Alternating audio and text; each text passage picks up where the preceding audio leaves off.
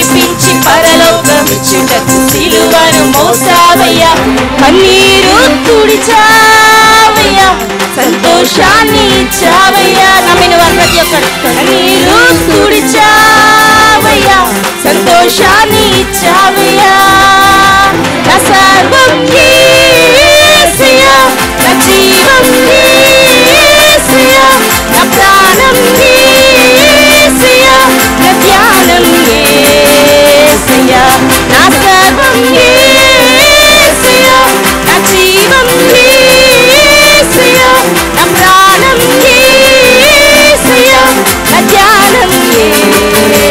యేసయ్యా.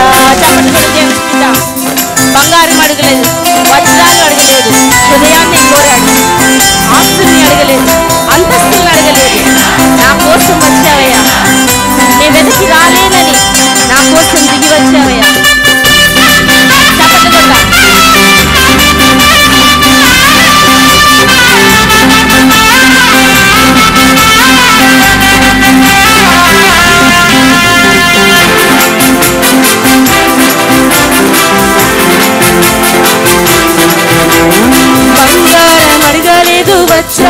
అడగలేదు హృదయాన్ని కోరావయ్యా. ఆస్తుల్ని అడగలేదు అంతస్తులు అడగలేదు. నా కోసం వచ్చావయ్యా. బంగారం అడగలేదు వజ్రాలు అడగలేదు. హృదయాన్ని కోరావయ్యా. అందరు కలిసి పాడదాం. ఆస్తుల్ని అడగలేదు అంతస్తులు అడగలేదు. నా కోసం వచ్చావయ్యా. నేనెదకి రాలేనని నా కోసం వచ్చావయ్యా.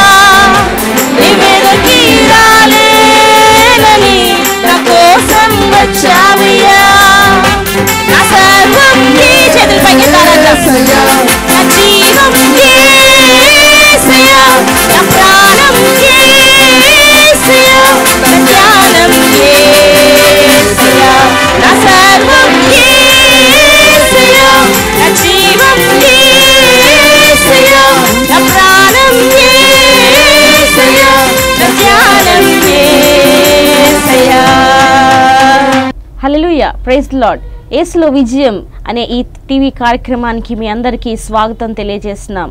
చాలా కాలం తర్వాత మళ్ళీ మీ మిమ్మల్ని ఈ విధంగా నేను పర్సనల్గా కలుసుకోవడం నాకు ఎంతో సంతోషంగా ఉంది. జనవరి మాసంలో సంక్రాంతి సెలవుల్లో యూత్ ఫర్ జీసస్ వారి తరపున మేము ఒక మంచి రెసిడెన్షియల్ క్యాంప్ని పద్నాలుగు పదిహేనో తారీఖులన మేము జరుపుకోవడానికి దేవుడు చూపిన కృపను బట్టి మేము ఎంత సంతోషిస్తున్నాం. అక్టోబర్ రెండో తారీఖున దేవుడిని తన సొంత రక్షకునిగా అంగీకరించిన బిడలు వాళ్ళని ఫాలో అప్గా ఈ క్యాంప్ని మేము కండక్ట్ చేయడం జరిగింది. ఈ క్యాంప్లో మంచి గ్రూప్ డిస్కషన్స్ జరిగినాయి. మంచి డివోషన్స్ జరిగినాయి. బైబిల్ స్టడీస్ మేము కలిగి ఉన్నాము. ఒక థీమ్ పెట్టుకుని ట్రాన్స్ఫార్మ్ టు టెస్టిఫై అనే ఒక థీమ్ పెట్టుకుని జీవితం మార్పు చెందిన ఈ జీవితాన్ని సాక్షికరంగా ఏ విధంగా మలుచుకోవాలి అనే ఆ థీమ్ బేస్డ్గా ఈ క్యాంప్ని మేము నిర్వహించ నిర్వహించడం జరిగింది. మంచి గ్రూప్ ప్రేయర్స్ చేసాం మినిస్ట్రీ కోసం ఈ సేవ కోసం గ్రూప్ ప్రేయర్స్ చేసాం గ్రూప్ డిస్కషన్స్ చేసాం చక్కగా టీమ్ యాక్టివిటీ చేసుకున్నాం ఈవినింగ్ టైం గేమ్స్ ఆడాము నైట్ టైం క్యాంప్ ఫైర్ చేసుకున్నాం ఫెలోషిప్ టైం కూడా మేము కలిగి ఉన్నాం. ఈ ఈ సక్సెస్ అంతట్లో దేవుడు తన కృప చూపిన విధానం బట్టి దేవునికి ఎంతో మహిమ ఘనత కీర్తి మేము చెల్లిస్తున్నాం. ఇంకా రానున్న దినాల్లో ఇంకా ఎక్కువగా ఆయన సేవలో మేము కొనసాగాలని మీ ప్రార్థనల్లో మమ్మల్ని గుర్తు చేసుకోండి. మీ వాల్యుబుల్ ఫీడ్బ్యాక్స్ని మాకు ఈ నంబర్స్కి మీరు కాల్ చేసి మీరు మాకు తెలియచేయవలసిందిగా కోరుతున్నాం. యేసుక్రీస్తునామం మీ అందరికి వందనాలు. దేవుడు నాకు ఇచ్చిన యొక్క అద్భుతమైన సమయాన్ని బట్టి దేవాదేవునికి వందనాలు తెలియజేస్తున్నాను. ఒక అద్భుతమైన యవనస్తుని మనం చూడబోతున్నాం. ఆ వ్యక్తి ఎవరో కాదు దానియేలు. ఈ దానియేలు జీవితం నుంచి ఐదు విషయాల్ని మీ ముందుంచాలని నేను ఆశపడుతున్నాను. ఏదో కథ చెప్పడానికి నేను ఇక్కడ రాలేదు కానీ ఆ దానియేలు అనే యమనస్తుడి జీవితంలో ఎలా విజయం సాధించాడు?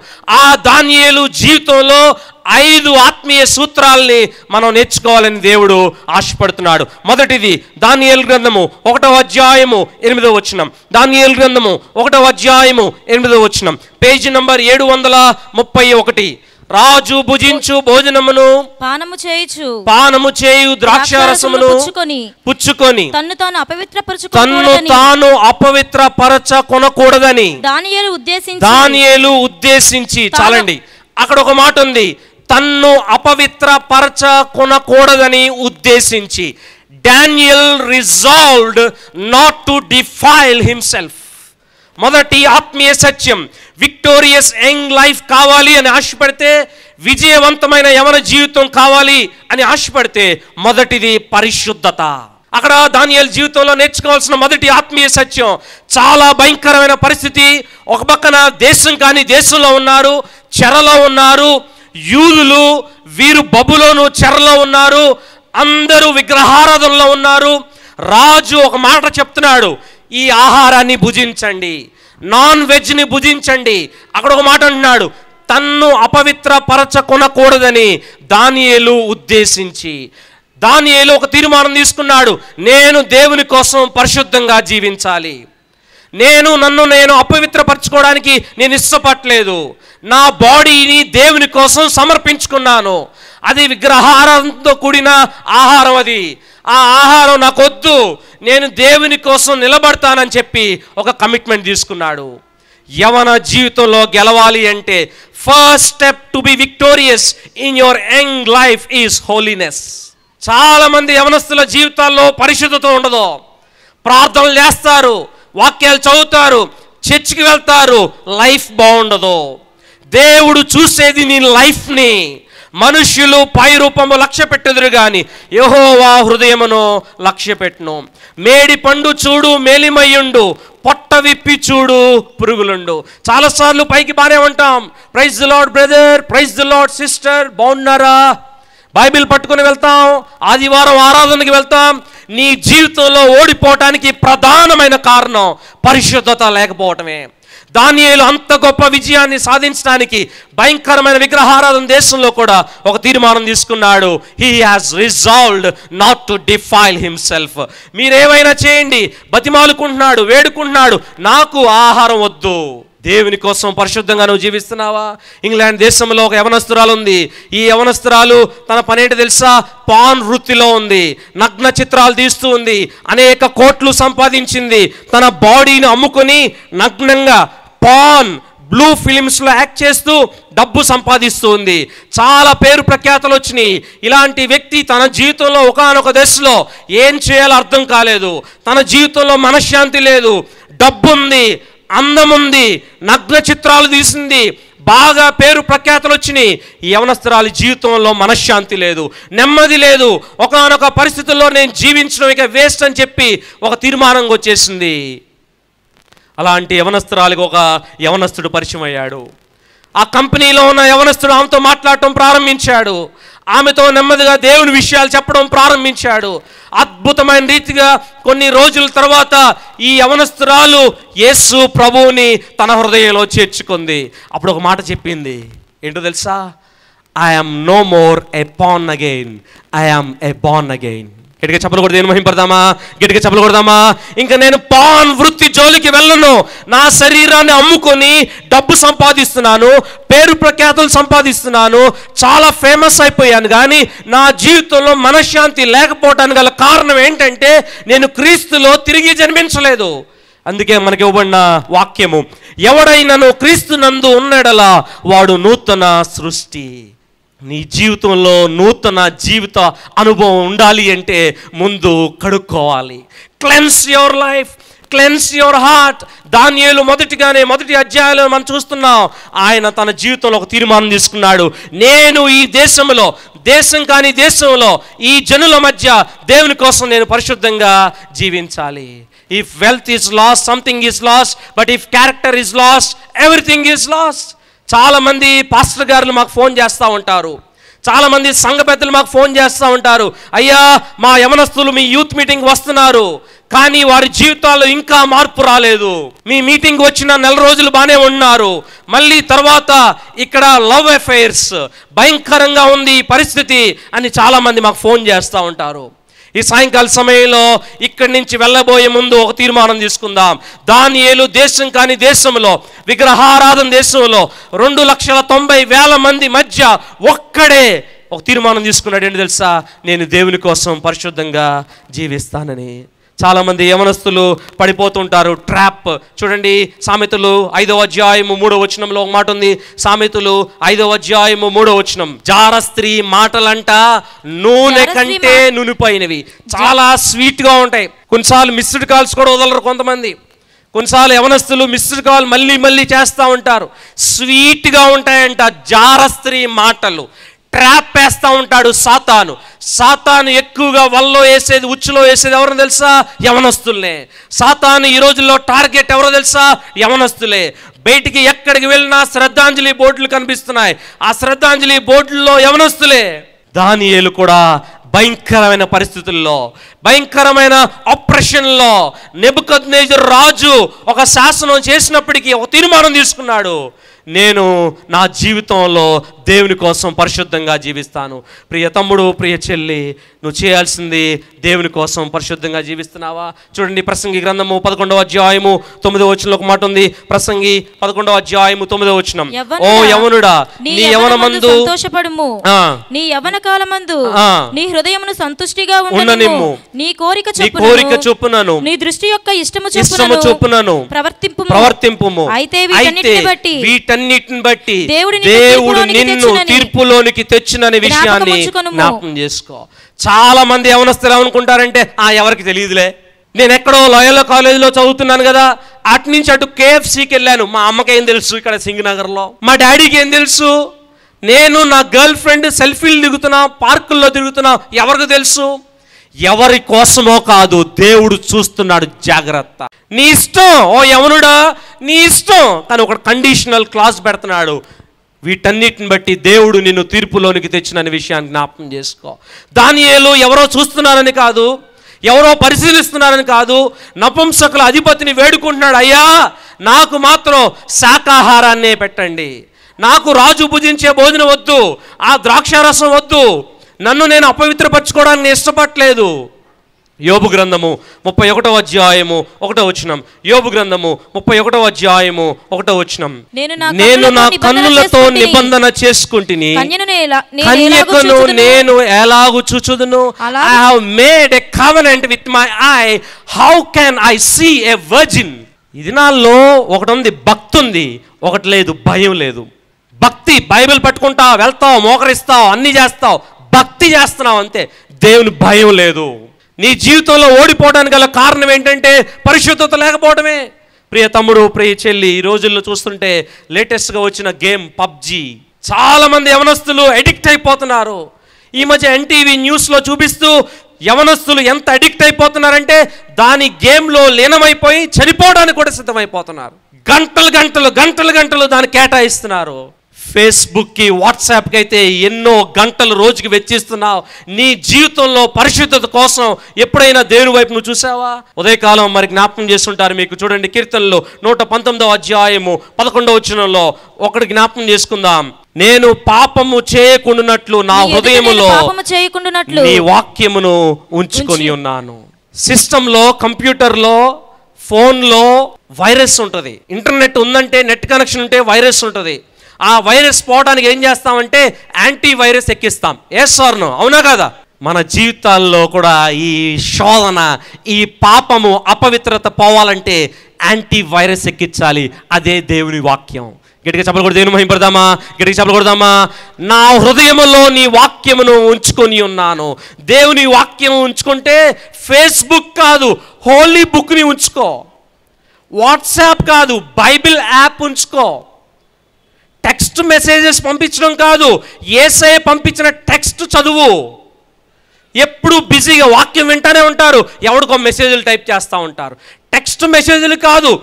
ఏసే నీకు పంపించిన అద్భుతమైన టెక్స్ట్ పరిశుద్ధ గ్రంథం. ఇది చదువు. నీ జీవితంలో దేవుడు విజయాన్ని అనుగ్రహిస్తాడు. ప్రియ తమ్ముడు ప్రియ చెల్లి ఈ యొక్క ప్రత్యేకమైన పరిస్థితుల్లో దేవుడు చూడండి ఒక మాట చూడండి. మొదటి తెశలో రాసిన పత్రిక నాలుగో అధ్యాయము ఏడో వచ్చిన ఒక మాట ఉంది. మొదటి తెశలో రాసిన పత్రిక నాలుగో అధ్యాయము ఏడో వచనం. పరిశుద్ధులగుటయే దేవుని చిత్తము. పరిశుద్ధులగుటకే దేవుడు మనల్ని పిలిచెను కానీ అపవిత్రులుగా ఉండుటకు దేవుడు మనల్ని పిలవలేదు. చాలామంది యవనస్తులు దేవుని చిత్తం దేవుని చిత్తం దేవుని చిత్తం అంటారు. దేవుని చిత్తం తెలుసుకోవాలని ఆశపడుతున్నానంటారు అసలు దేవుని చిత్తం ఏంటో తెలుసా? నువ్వు పరిశుద్ధంగా ఉండటమే. నీ లైఫ్ని ఇష్టం వచ్చిన నువ్వు జీవిస్తావు దేవుని చిత్తం అంటావు. దేవుని God's will in your life is to be holy చాలామంది గొప్ప గొప్ప వారు కూడా పడిపోవటానికి గల కారణం తెలుసా? పరిశుద్ధత లేకపోవడం. గొప్ప గొప్ప సేవకులు సైతం కూలిపోవడానికి గల కారణం తెలుసా? పరిశుద్ధత లేకపోవడం. ప్రియ తమ్ముడు ప్రియ చెల్లి దానియేలు జీవితంలో అద్భుతమైన లక్షణం మొదటిగా మనం చూసాము దానియేలు పరిశుద్ధత కలిగి జీవించాడు. తిమోతి రాసిన రెండవ పత్రిక రెండవ అధ్యాయము ఇరవై రెండవ వచనంలో ఒక మాట ఉంది. నువ్వు యవనేచ్ఛల నుండి దూరముగా పారిపోము. ఎక్కడ చూసినా యవనస్తుల్ని దేవుడు శోధన ఈ లోకంలో శోధన వస్తున్నప్పుడు దేవుడు నీకు సహాయం చేస్తాడు. ఎట్లా? దాని నుంచి నువ్వు పారిపోవాలి. Flee away from youthful desires చాలాసార్లు ఏంటంటే మనమే అవకాశం ఇస్తాం పాపం చేయడానికి. దానియేలు ముందుగానే ఒక తీర్మానం తీసుకున్నాడు. Better to avoid completely than to sin ఏదైతే నీకు శోధన అని తెలుసుకున్నావో better to avoid it completely పూర్తిగా దాన్ని అవాయిడ్ చేయడం మంచిది. చాలాసార్లు ఏమనుకుంటామంటే ఒకసారి చూద్దాంలే. ఒక్కసారి టేస్ట్ చేద్దాం. ఒక్కసారి ఒక్కసారి ఒకసారితో అది అయిపోదు రెండోసారి మూడోసారి అది కంటిన్యూ అవుతూనే ఉంటుంది. నీ జీవితంలో ఓడిపోవడానికి గల కారణం ఏంటంటే పరిశుద్ధత లేకపోవటమే. ప్రియ తమ్ముడు ప్రియ చెల్లి ఎలా పరిశుద్ధతతో కొనసాగడం? చూడండి సామెతలు గ్రంథము మూడో అధ్యాయము ఆరో వచనంలో ఒక మాట ఉంది. సామెతలు మూడో అధ్యాయము ఆరో వచనంలో నీ ప్రవర్తన అంతటి ఎందు ఆయన అధికారమునకు ఒప్పుకొనుము. అప్పుడు ఆయన నీ త్రోవలను. ఒకటే మార్గం. ప్రభువా నా వల్ల అవ్వట్లేదు. నేను అనుకున్నాను కానీ ఈ విషయంలో నేను జయించలేకపోతున్నాను. అరవై ఐదు శాతం మంది యవనస్తులు ఇంటర్నెట్కి అడిక్ట్ అయిపోయారంట. రోజుకి తొమ్మిది గంటలు నెట్ చూస్తున్నారంట. తొమ్మిది గంటలు. ఇరవై నాలుగు గంటల్లో తొమ్మిది గంటలు యవనస్తులు నెట్ చూస్తున్నారంట. ఎంత భయంకరంగా నెట్కి ఈ లోకానికి ఎడిక్ట్ అయిపోయావు. ప్రియ తమ్ముడు ప్రియ చెల్లి నీ ప్రవర్తన అంతటి ఎందు ఆయన అధికారాన్ని ఒప్పుకో. అప్పుడు ఆయన నీ త్రోవలను సరళం చేయను. కాలేజెస్లో ఇంటర్మీడియట్ అయిపోయిన తర్వాత టీసీ తీసుకుంటావు. టీసీతో పాటు సీసీ ఇస్తాడు కాంటాక్ట్ సర్టిఫికేట్. సీసీలో ఒకటి మాట రాస్తాడు గుడ్ సాటిస్ఫాక్టరీ లేకపోతే వెరీ గుడ్ లేకపోతే ఎక్సలెంట్. ప్రియ తమ్ముడు ప్రియ చెల్లి ఏసఐ కూడా నీకు ఒక సర్టిఫికేట్ ఇవ్వాలని ఆశపడుతున్నాడు కాంటాక్ట్ సర్టిఫికేట్. ఆ కాంటాక్ట్ సర్టిఫికేట్లో నీ ఏమని రాయబడింది? గుడ్డా? వెరీ గుడ్డా? బ్యాడ్ వర్సా ప్రియ తమ్ముడు ప్రియ చెల్లి నీ జీవితంలో విజయం సాధించాలంటే దాని వలె మొదటిగా జ్ఞాపకం చేసుకోండి. ఏసఐ కోసం జీవించండి. సుమారు మూడు వేల మంది యవనస్తులంట. పోయిన సంవత్సరం రెండు వేల పద్దెనిమిదో సంవత్సరంలో తమిళనాడులో మూడు వేల మంది యవనస్తులు ఆత్మహత్య చేసుకున్నారు. ఎందుకు తెలుసా? బ్లూ వేల్ అనే గేమ్ బ్లూ వేల్ అనే గేమ్ ఆ యాభై స్టెప్పులు పాటిస్తూ పాటిస్తూ వెళ్తే చివరి లాస్ట్ స్టెప్ ఏంటంటే పైనుంచి దూకి ఆత్మహత్య చేసుకోవడం. అప్పుడే నువ్వు గేమ్లో గెలిచినట్టు. సుమారు మూడు వేల మంది యవనస్తులు ఆ గేమ్ ఆడి బ్లూ వేల్ అనే గేమ్ ఆడి తమిళనాడులో మూడు వేల మంది ప్రాణాలు కోల్పోయారు. ఎంత భయంకరమైన విషయం.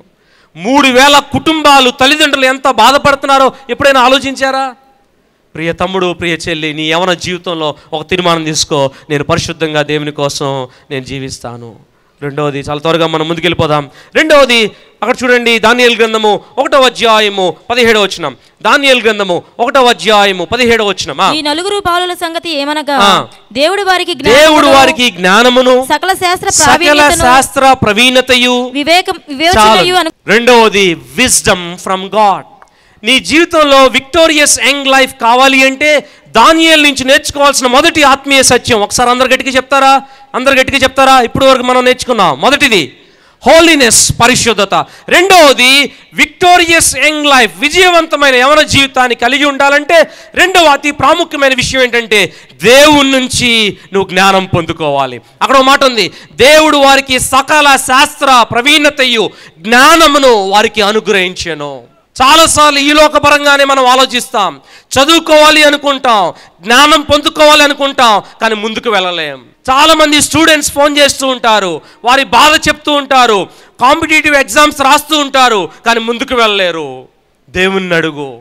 ఆ దేశంలో చాలామంది ఉన్నారు. కొన్ని వేల మంది ఉన్నారు. మాంత్రికులు ఉన్నారు ఆ యొక్క శాస్త్ర ప్రవీణ ప్రవీణులు ఉన్నారు పండితులు ఉన్నారు మెజీషియన్స్ ఉన్నారు వైజ్ మెన్ ఉన్నారు కానీ వీరందరిలో అద్భుతంగా రాజుకొచ్చిన కళలు రాజుకొచ్చిన దర్శనాలు ఏమాత్రం సంకోచించకుండా ఏమీ ఆలోచించకుండా రాజు చెప్పకుండా ఆలోచించండి ఒకసారి. రాజు పిలిచి ఏమన్నాడు తెలుసా? నాకు ఒక కళ వచ్చిందయ్యా ఆ కళ ఏంటో నాకు గుర్తులేదు ఆ కళ ఏంటో నాకు తెలియదు కానీ అది నువ్వు వెళ్ళి ఆలోచించి నాకు చెప్పాలి. ఎంత కష్టమో ఒకసారి ఆలోచించండి. ఆ కళ ఏంటో చెప్పలేదు కానీ ఆ కళ భావాన్ని చెప్పమంటున్నాడు. చాలా కష్టం. కానీ దానియేలుకి దేవుడు జ్ఞానం ఇచ్చాడు ప్రైజ్ ద లాడ్ ఈ లోకపరంగా కూడా నీ స్టడీస్లో ముందుకు వెళ్ళాలి అంటే ఆత్మీయంగా ముందుకు వెళ్ళాలంటే మన వల్ల అవ్వదు. మనం నిస్సహాయలం. మనం ఎందుకు పనికిరాని వారం? కానీ దేవుడు తన జ్ఞానాన్ని ఎప్పుడైతే మనకిస్తాడో ఈ లోకంలో మనం ముందుకు వెళ్ళగలం. నేను కూడా నా ప్రయత్నం నేను చేసేవాడిని ఎప్పుడు దేవునిపై ఆధారపడేవాడిని. ఇక్కడే లయోలా కాలేజీలో బిఏ ఇంగ్లీష్ చదివాను. పిబి సిద్ధార్థ కాలేజ్ మొగలరాజపురంలో ఎంఏ ఇంగ్లీష్ చదివాను. ఒక్కటే చేసేవాడిని ప్రభువా నా కష్టం నేను చేస్తున్నాను ఇంకా భారం అంతా నీపై వేస్తున్నాను. నువ్వే నీ జ్ఞానం నాకు ఇవ్వు ప్రభువా అని అడిగినప్పుడు ఎంఏ ఇంగ్లీష్లో నాలుగు సెమిస్టర్స్లో టాపర్గా ఓవరాల్గా బెస్ట్ స్టూడెంట్ అవార్డుతో గోల్డ్ మెడలిస్ట్గా దేవుడు నన్ను నిలబెట్టాడు. గిడికి చెప్పలు కూడా దేని మహింపడదామా? గిడికి చెప్పలు కొడదామా? ప్రియ తమ్ముడు ప్రియ చెల్లి నీ లైఫ్లో ముందుకు వెళ్ళాలని ఆశపడుతున్నావా? ఎంతో జ్ఞానం సంపాదించాలని ఆశపడుతున్నావా? సక్సెస్ఫుల్గా ముందుకు వెళ్ళాలని ఆశపడుతున్నావా? చదువుల్లో రాణించాలని ఆశపడుతున్నావా?